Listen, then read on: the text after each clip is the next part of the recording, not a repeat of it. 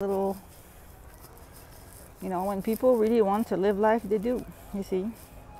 We've been kicked out of the gym building but uh, everybody's still doing their ex- daily exercise. Yay! I like tennis i don't know about you guys but yeah.